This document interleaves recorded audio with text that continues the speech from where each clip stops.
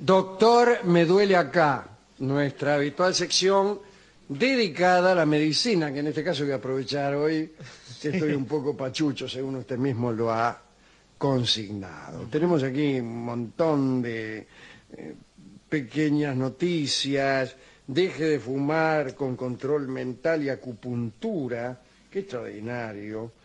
Eh, De paso aproveche para otras cosas, porque si logra dejar de fumar con eso, ¿Por qué? ¿Para qué otra cosa? y cosas Eh, más. psicoterapia individual, 13 pesos.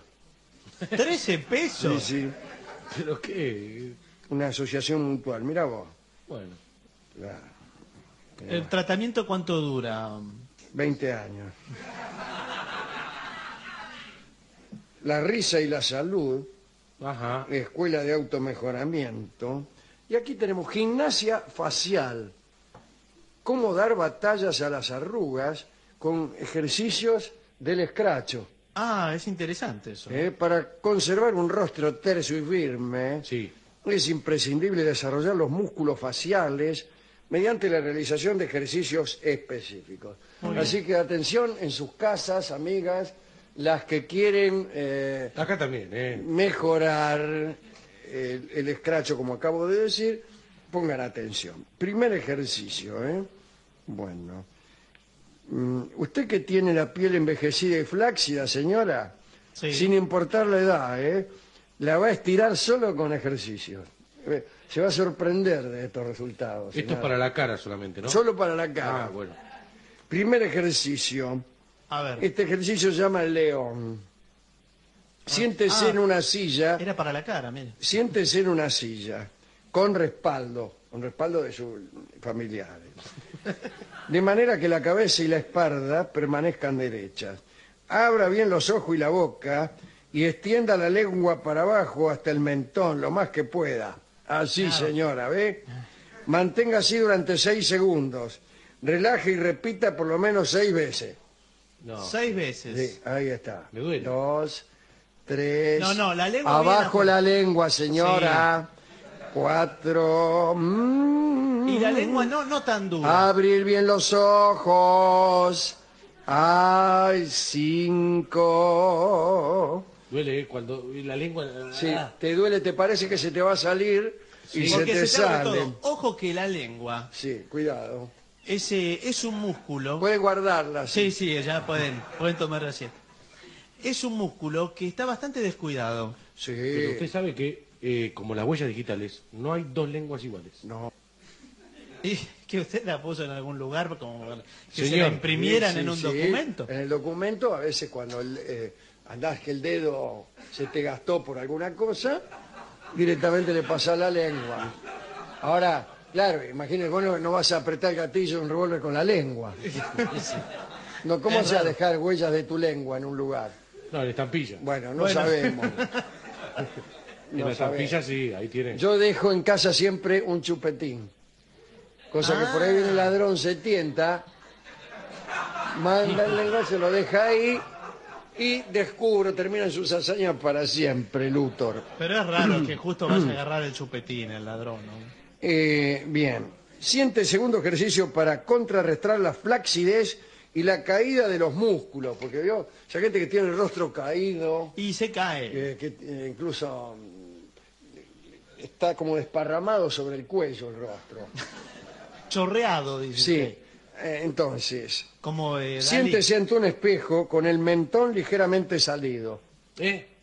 Así, Así, así como, Adelante. como un prognato, Sí. efectivamente. un balcón. Eh, Uy. luego, con la boca entreabierta, sonreír hacia arriba tanto como de manera tal que los músculos de la cara y del cuello queden tirantes. Mantenga la posición durante 20 segundos. Se va a contraer, se va a agarre- abre uno la puerta, le agarra un aire y queda así, sí. así para toda la Eso vida. le pasó al dueño de un multimedio. ¿Sí? Sí, sí, Usted lo quedó conoció. para adelante. Bueno, Sí. llenar la boca de aire es el tercer ejercicio para estirar las mejillas. Llene la boca de aire de manera que las mejillas queden infladas. intente dar vueltas al aire dentro de la boca. ¿Cómo? De No viene sé yo. botezo, No, no sobreviene el bostece, botezo. no bostece. y sí, usted haga esto en casa, eh, si se infla, bueno, Ah, mantenga durante 20 segundos, así. Claro. Pero eh, esto, ¿sabes que cómo te tonifica las, me- las mejillas? Mm, Sí, sí. O inflando globos también. Inflar sí, globos. Sí, pero sin inflarlo, haciendo el movimiento No, de- no, inflándolos incluso. Pero se, ¿cuántos, ¿cuánto globo hay que inflar para que se vaya a hacer arrugas? Eh, no, no, tipo que infla 20, 30 globos todos los días. Ajá. Ah, a los dos meses parece... no Un sé. bebé. Pero Un después le, pa- le pasa lo contrario, le queda flácido, o sea, usted lo estira mientras No, infla. no, porque ahí el músculo trabaja, trabaja. Estos son músculos, en la mejilla. Ejercicio de ojos. Ah. Reduzca las arrugas que se producen en la frente, en los párpados y en el entrecejo. ¿Y cómo? Ahí se le Ah. junta todo, ¿eh? Sí, y no tenga bolsas debajo de los ojos, porque hay gente que debajo de los ojos tiene unas bolsas como de carne. Y sí, queda, queda líquido acumulado ahí. Y sí, ¿De la queda- lágrima? Lo, lo no llorado será, no sé. Sí, son lágrimas, para mí son lágrimas no lloradas. Eh, por eso hay que llorar siempre, me dice Rolón. Sí. Vos cuando tengas ganas de llorar, me dice con voz así con mucho aire, me dice llorar, porque si no se te queda, aquí dice en la piojera, en la, no es una piojera. en la lagrimera, te queda esa... Todo lo no llorado queda ahí, se te va para adentro. Bueno, sí, pero no es que se va para adentro. Se te va toda la angustia para adentro. Y sí, A un cuñado eh, no lloró, dos días seguidos quería llorar, no lloró, no lloró, se le fue la angustia para adentro, eh, quedó duro ahí, Claro, se, se angustió tanto. quedó que- seco, le agarró un golpe de angustia. bueno, pero no hay golpe de angustia, se puede Sí, ser sí, señor. eh, mucha pues se tristeza. le dio vuelta los ojos para adentro como, como algunas novias. Sí, y le quedó en blanco. ¿Tuvo nunca tuvo novias que le ponen los ojos en blanco? Ah, a mí me encanta. Pero depende con qué gesto sea acompañado. No, no es- Ese. No es Ah, un si gesto. por- se hacen Sí, así, por se hace ejemplo, con las no. palmitas. Pero si, por ejemplo, que se, se agarran los pelos, Estamos, Sí, estamos y por desbarrancar, yo le aviso porque estamos, ¿Por estamos en el precipicio. Puede ¿No le gusta a usted que una novia le ponga los ojos en blanco? Incluso por razones espirituales. Usted le nombra a un poeta. Dice, ay, Gustavo Adolfo Becker. Ay, dice la mía. Y le pone los ojos en blanco. No, a mí me da miedo que no vuelva de ese estado. Ah, que parezca el- la rebelión de los zombies. Sí, que, que, que- que no vuelva. Entonces, eh, Y le quedan los ojos blancos y está en la pizzería con los ojos en blanco. Y usted trata de decir cosas así A ver si ver si... es como el tragamoneda, a ver si Claro, y vuelve. dice, ay, Dalmiro Sáenz. Vuelve solo el ojo, se vuelve a acomodar. ¿Sí? Hay que tener ¿Por cuidado, qué? si viene un Primero viento, uno, se queda después así. el otro. No, señor, va, van los dos juntos porque tenemos una cosa que se llama nervio óptico Sí, y que es como un resorte. Yo se lo explico para que lo entienda. sí, usted. explíquemelo como no es, así yo lo Sí. entiendo. Pero señor, si viene un viento, ¿no se queda así para siempre? Sí, un aire. Claro. Sí, sí, sí. Inmediatamente. No, señor, ¿cómo haría la gente? Por eso a mí mi abuela no me dejaba hacer muecas ni nada. Pero señor, Porque entonces qué le, Tengo le- que se quedar así, me contaba, un chico, etcétera. Pero no, señor, entonces la gente en Bahía Blanca habría quedado con un gesto. Y sí, Sí, porque en. Bahía, en Bahía Blanca nadie hace un gesto. está prohibido jugar el truco. Claro, no, no. ¿Por el viento, dice usted? Sí, Hay gente que se usted queda haces así de así, eh, tenés el as de espada, te agarra un aire y quedas como gasalla.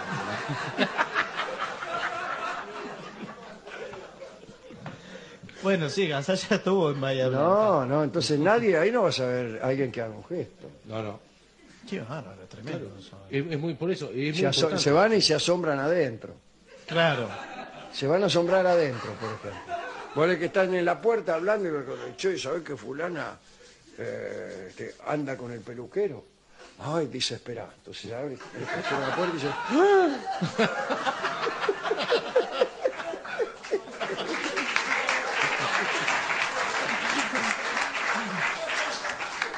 Bueno, eh, la gesticulación, Sí. hay, hay que tener cuidado con, lo- con los gestos, pero además porque también trae arrugas. ¿Usted cómo se ríe, por ejemplo? Cuando se tiene que reír.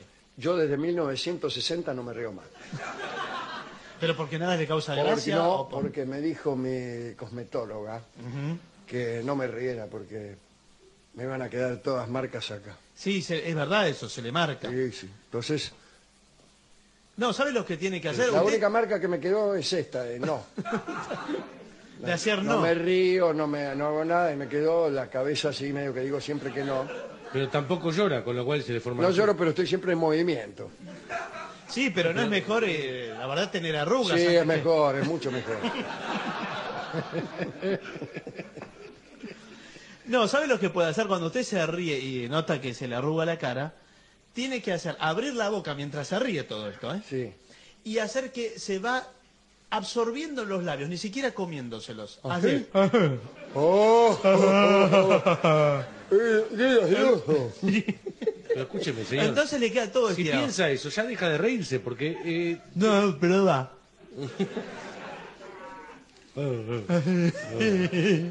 no me río. Bueno, eh, acá hay otro ejercicio. Te queda muy que, lindo. es para el cuello, creo. Sentarse en una silla con respaldo duro.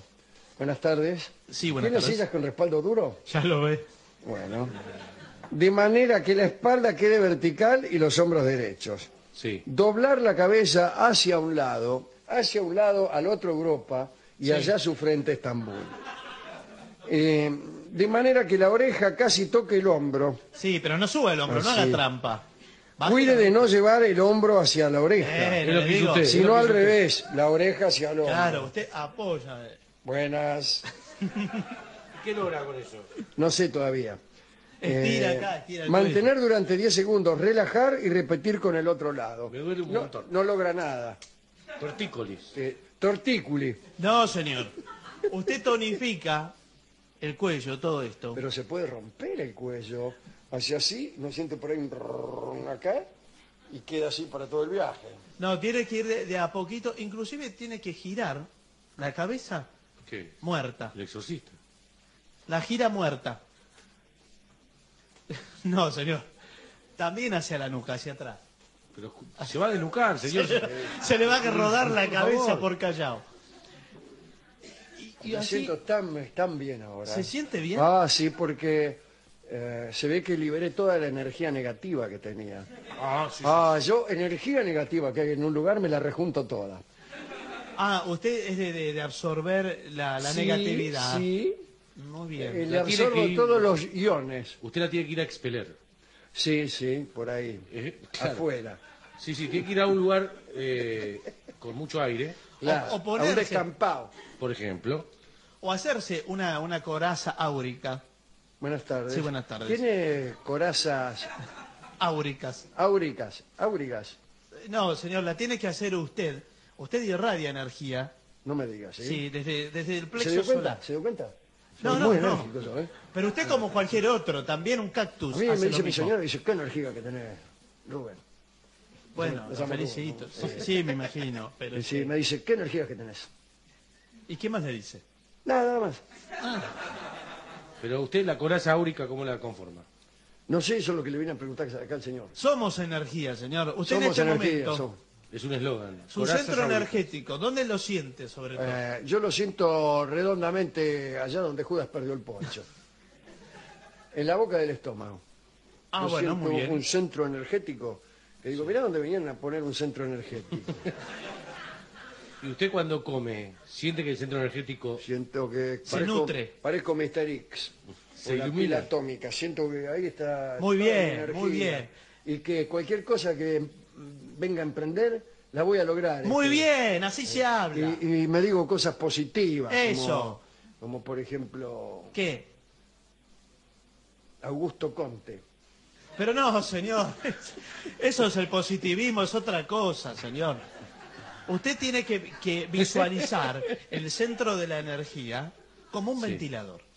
Ah, yo pensé que era una cosa seria. Y ahora me viene con un ventilador. No, No, señor, pero yo le visualizamos. tengo terror a los ventiladores. es una ¿Por qué le metáfora. Que eh, una vez cuando era chico metí el dedo en el ventilador Sí. y me lo cortó en tres pedazos. Bueno, la, y la verdad lo lamento, pero no, usted no puede meter el dedo de adentro hacia afuera. Visualice el ventilador adentro. Eh, señor, ¿Cómo se Peor mete el- todavía me rompe todas las, eh, las vísceras, ponele. ¿Cómo Piensen tener un ustedes una ventilador? Y más si es giratorio. Y sí, va- ¿cómo no va a ser un ventilador giratorio un Eh, ventilador? lo tengo que inventar con Verlo, visualizarlo. verlo y sentirlo también. porque Y sentirlo. esa- Esa vibración. Una energía. Pero no gira en semicírculo como un ventilador. Giratorio el No, ventilador que te- Mi ventilador interior. Creo que ponga más fuerte. No, señor. No, no, no, no. Déjelo en uno, déjelo en uno. Porque si lo ponen... Así irradia energía y va creando su campo áurico. Mm. Entonces se le acerca la negatividad Y y, la repele, la repele, Eh, la repele. repelo. Sí, señor. La repele. Eso, eh, digamos, ¿dónde, ¿dónde se estudia? En su interior, señor. ¿Mi interior estudian? Eh, No, en su interior Ah. lo hace usted Su mismo. cuerpo es un aula. El cuerpo es un aula, ¿no? Sí, señor. Y usted es el maestro. Ah, Piense usted como un águila ¿Y la dirección? y el problema es un venado que el águila va a cazar. ¿Un venado? Claro. Visualiza el problema como si fuera un venado y usted un águila. ¿Yo un águila? El Sí. problema un venado. Claro. No visualice al revés que está en problemas momento, mayores. momento, ¿eh? momento que estoy... No es fácil, ¿eh? Bueno, pero estamos... estamos A mí llegando- águila me sale, ahora un problema venado. Un problema venado, problema venado. Un señor compra 10 venados. No, a señor. 300 pesos. No, señor. Eh, El venado como representación del problema, le dice Claro. acá nuestro eh, gurú. Un venado tuerto. El Bueno, venado puede tuerto. ser tuerto el venado, no hay ningún problema. Y entonces el águila, desde la inmensidad del cielo, Pero un águila agarra un venado. sí, la, y la Eso lleva, la lleva, contando, Me parece que para un águila que Es pesa un kilo y medio, la lleva. un venado Señor. que pesa ochenta y pico, Es un O sea, problema grande. Un águila, 200 kilos, no sé cuánto señor, pesa un águila carga un venado y se lo lleva volando. No, ¿qué va? Pero no esto puede es ser, así. señor. Lo picotea. Bueno, ve, ahí está, Eh. usted no puede vencer el problema. No puede, no, Usted no. ¿cómo no? Usted es no el puede. águila la que no puede vencer al problema. ¿Cómo va a levantar un águila un semejante venado? Claro, se necesita una metáfora, una lombriz, no sé, venado. No, si era un águila, una lombriz. Y eh, para minimizar el problema. el problema es grande. Yo visualizo los problemas ¿Y como yo puedo, lombrices. puedo eh, visualizar águilas amigas? Sí. Muchas águilas amigas que entre todas tomamos al venado y lo levantamos. Pero ve, usted ahí no. Eh, Ahí vamos, vamos todos juntos. Ahí tiene el, el problema de la personalidad que tiene usted. Sí, Es yo tengo un problema con... Usted siempre quiere que el problema se resuelva a los demás. Claro, y yo incluso estaba Entonces, pensando que vamos todas las águilas, menos yo que me quedo abajo. y le digo, no lo distancié. Un poquito más de acá. No, no, no. Arréglese usted solo. Es pesado el problema, pero va a poder. Va a poder. ¿Usted vio alguna vez un águila levantar un venado? No. ¿Qué clase de animales? Buenas tardes. Buenas tardes. Esta es la Asociación de Águilas y Afines. Sí, señor. Eh, ¿Qué animales mayormente levanta el águila con sus propias garras? Bueno, caracoles. No, Por un caracol no me agacho ni yo. ¿Usted cree que el águila va a bajar por un caracol? No, el águila puede llegar a agarrar hasta un gato. Ahora es difícil que el águila se ¿Hasta un gato? Hasta un gato, sí. ¿Qué Mucho quiere más, ¿no? decir hasta un gato? Eso, que del gato... eh, ¿Usted ve eh, la pirámide de la De naturaleza? Egipto, No, sí. señor. Y un gato en la punta. Claro. Los egipcios la Voy a agarrar un águila, ¿eh? Eh, el gato es la máxima aspiración. Sí, de muchos de nosotros. No, señor.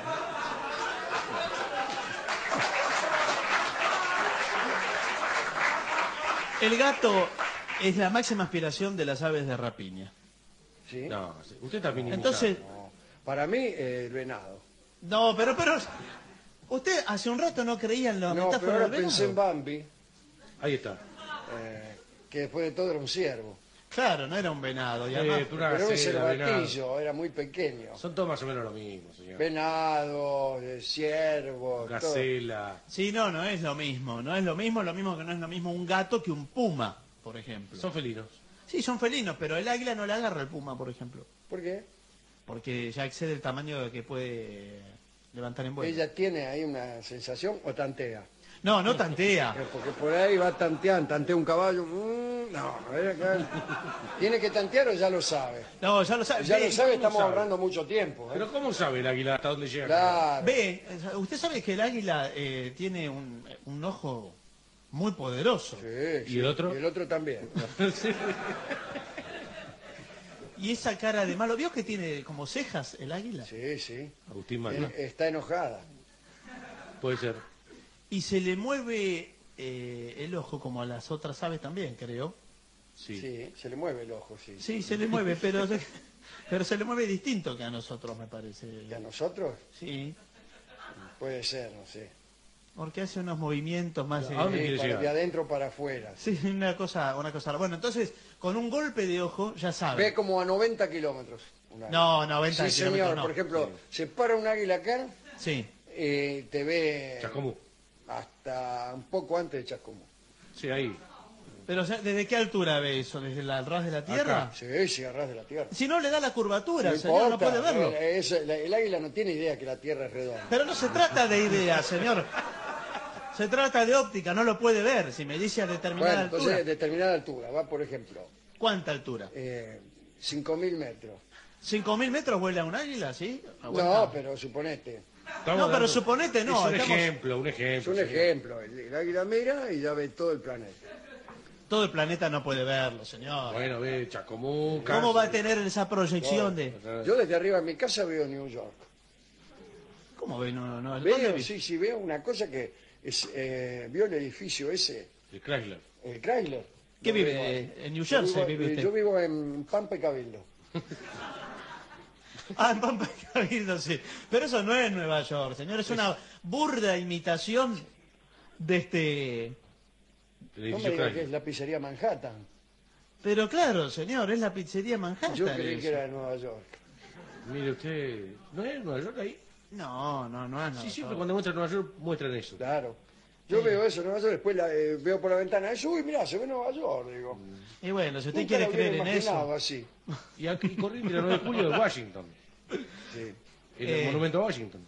No, este es otro obelisco, señor. Obeliscos hay en varios lugares y acá también. ¿Dónde más? Es otro, es Washington, por ejemplo. ¿Es el mismo obelisco o es otro? Es otro, es otro. Es Nos otro copian todo, ¿eh? No, no es que nos copien, señor. Y Es, ya no copiaron el edificio Chrysler, Claro. el Pampa Cabildo, es otra cosa. y ahora señor. el obelisco. Sí, señor. Bueno, si sigue en esa línea, vaya ahí también al barrio de Belgrano, va a encontrar la Estatua de la Libertad en chiquitito, eh. ahí en Barrancas de ¿A Belgrano. dónde? Nunca la vi. Ah, ¿no la vio? No. Sí, hay una réplica en pequeño. No, no es. Le habrá parecido a usted. Yo voy siempre al barrio chino. Ah, sí, ¿qué va a Ah, comprar sí, eh, eh, comida? No, voy a conversar. Ajá. Porque me estoy entrenando, porque tenemos eh, justamente el programa en la China. Ah, hacen un programa. Vamos a hacer un programa en, en Beijing. Ah, mire, lo felicito. Sí, señor. Y, ¿Para la comunidad argentina en China o eh, para sí, los- para la comunidad argentina y también para, para los chinos. Pero son de idiomas Entonces, diferentes. eh, interviene la municipalidad de Beijing Sí. con la ah, eh, embajada argentina en China, Es un programa que se llama Después de los Juegos Olímpicos. Ah, recordando los Juegos Olímpicos. Bueno, sí, ya pasó, qué Eh, recuerdo. bueno, pero los chinos tardan en, en olvidar. Tienen- son milenarios, tienen... Y Y, bueno, entonces me voy al barrio chino y me meto en los cafetines y empiezo a hablar con los chinos, y habla en mandarín, ¿en qué habla? en castellano. Y, y- y hablan los chinos todos. También, también en castellano. Sí, pero allá en Beijing no van a Ah, hablar. no, eso es lo que me decía uno. Y sí, señor. Dice- Tiene que aprender a hablar el idioma. All- Allá no se le va a hacer fácil. Hablan chino. Y sí, claro. Y le digo, pero yo lo entiendo. Pero le está hablando Eh, español. yo creí que eso era chino. No, señor, hablan un español. No, yo estoy hablando español. No, yo te- usted está hablando chino. ¿No es que me dice, yo hablando español? Bueno, habla un español eh, quizás rudimentario. Y- y claro, eso me dijo el tipo, pero digo, yo pensé que ese era directamente ya el chino. No, señor, no. No, el chino distinto. Usted no habla ni siquiera un chino rudimentario. Habla un chino... Era, ru- era el que me dijo todo esto, era un chino rudimentario. No, sí, sí, pero digo, usted no habla ni Yo siquiera... también era bastante rudimentario a los ojos del chino. sí, me imagino. Bueno, eh, Ah, escriben algunos oyentes desde la China. Sí, Hay, hay algún que otro oyente. En la China, digo. ¿De ¿Cómo es A la mí- comunidad china en China? La comunidad argentina. Numerosa. Ah, No, y no debe ser muy, muy numerosa. Los argentinos que viven en China, supongo que... Para mí están todos allá. No, no están todos allá. Todos allá. Hay algunos eh, enseñando español. ¿Se acuerda cuando se iban todos en el año 2000 o 2001? Sí, pero a China no sé. Iban, porque primero hacían la cola en la Embajada de Italia, de Francia, Estados Unidos, y enfrente estaba la de China. claro. Y a veces, como la cola de China era siempre más chica y atendía más rápido, Se metían ahí, se vamos, y se- quien vio un país ya los vio todos. No, pero... Y se iban ahí a trabajar a China. Supermercado ponían. Sí, Sí, pero... eh, Es una cultura muy diferente, es eh, un y idioma bueno, distinto. Más a mi favor. No, ¿qué más a mi favor? Es difícil adaptarse, señor. La verdad no sé, me parece medio raro. Usted tiene que ir, si se va a ir adaptando a la cultura china, está bien que vaya al barrio chino y empiece a comer también comida china. Vio que venden algunos animales vivos para comer. Hácelos, hay que comérselos vivos. Perdón, perdón, señor. sí. ¿Cómo venden animales vivos para comer? Venden ¿Qué está que- sugiriendo? Tiene... Sí, señor, es eso. ¿Qué que- animales vivos tiene? Buenas tardes. Vengo acá con mi señora a comer algo, a picar algo. Discúlpeme, afuera ¿Para dice... picar qué tiene? ¿Mosquito? Señor. No, Esto señor. es una veterinaria. No, no es una Están todos veterinaria. animales vivos. Claro. Usted se lleva eh, estos eh, moluscos. No, no me los quiero llevar, me los quiero comer en este restaurante. Bueno, eh, no, se los lleva vivos, se los vendemos en una bolsita y ustedes se los hacen en su casa. No quiero llevarme, los quiero comer acá en este restaurante, animales vivos. Bueno, pase al salón que lo vamos a servir entonces. ¿Y pero me lo sirve vivo? Sí, señor. ¿Y yo cómo lo mato? No, en su organismo. Ah, me lo voy. al- eh, ¿Qué conviene? ¿Matarlo en la boca o dejar que se muera adentro? Pero eh, discúlpeme, señor, si este animal que yo me estoy comiendo vivo se empieza a alimentar de mí desde adentro. Claro, y no se muere. No, no le llega vivo. Ah, que no, no, puede sobrevivir. Ah, no. Hay animales que no los matás así nomás. No. señor. No puede sobrevivir dentro suyo. Es lo mismo que ¿Por me diga. no? La lombriz solitaria sobrevive. No solo eso, se procrea. Bueno, pero eso se, eh, se alimenta de ustedes. Otra cosa, es un parásito. El piojo, ¿no vive arriba de uno? No, no adentro, señor. En la No, periferia. la- eh, en no un momento va para adentro. No puedo entender la comida china y más cuando me, me atiende este señor que me atiende con mala voluntad. Pero qué mala voluntad. le Tiene- digo, si usted tiene, no sabe. Por ejemplo, esos peces que vos lo comés y te morís, el pez globo. Sí, el pez globo. ¿Y qué? ¿Y qué qué? No tiene nada que ver eso con la comida china, señor. ¿Cómo que no? El pez globo, comida china. No, no es así. o no, japonesa, lo mismo. no, no es lo mismo.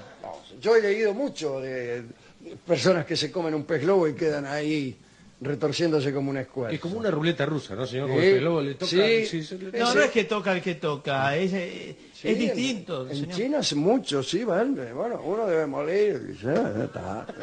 Oh, morir. No, a usted lo engañaron, me parece. Le, le están vendiendo otra claro. cultura que no es la nuestra. No, es la de ellos, es así. Voy a morir en el restaurante de la esquina. No, no es, no es así, señor. Estaría lleno de cadáveres en la calle de Montañeses ahí. Sí, No, no está lleno de cadáveres. bueno, decir. Bueno, eh, vamos a hacer una pausa y jóvenes promotoras chinas, Sí. ataviadas con sus clásicos monos, Kimonos. sí, eh, Eso es japonés igual le digo, ¿eh? sí, van a repartir cohetes. Eso es chino. aprovechando la proximidad de las fiestas. Sí, señor. Claro. Así que, bueno, eh, un momentito, después volveremos con más cosas. Sí, señor.